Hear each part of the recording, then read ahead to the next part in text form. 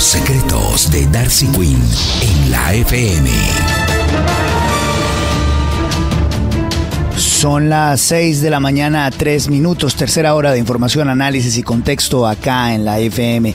Gracias por estar con nosotros. Hay mucho nerviosismo en Palacio, mucha llamada del presidente Iván Duque a la corte. ¿Por qué? Doña Darcy Quinn buenos días Carlos, muy buenos días para usted y toda la audiencia, porque hoy se empieza a discutir si la cadena perpetua, uno de los grandes logros del gobierno Duque, es constitucional o no. Le cuento que la ponencia de la magistrada Cristina Pardo va tumbando la cadena perpetua por considerar que va contra derechos fundamentales, contra la Constitución Nacional y porque no deja espacio para la resocialización.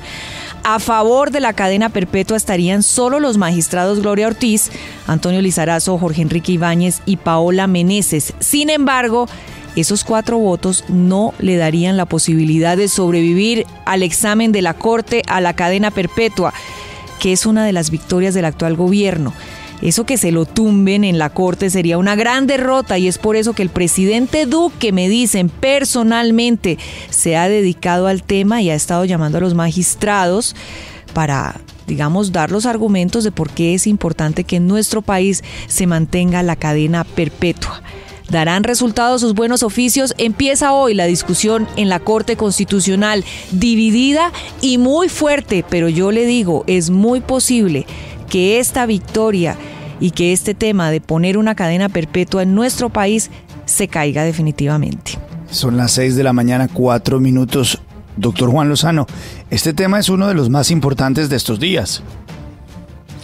Sin duda, Luis Carlos, por las razones menciona Darcy, porque este proyecto lleva tramitándose muchos años y se había caído, no había visto la luz. Cuando finalmente hay mayorías en el Congreso aparece esta discusión jurídica que finalmente, Luis Carlos, debe dirimirse, en mi respetuosa opinión, pensando en qué derecho prima el derecho de los niños, que es un derecho prevalente consagrado en la Constitución, el derecho de los niños a estar protegidos y a que no haya personas en su entorno que amenacen su integridad sexual y su vida, o el derecho de los victimarios en función de la estructuración del concepto de dignidad humana por la resocialización en la Constitución.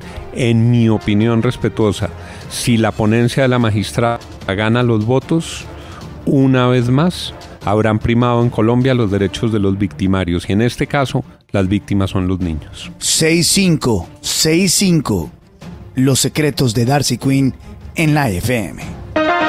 Los secretos de Darcy Quinn en la FM.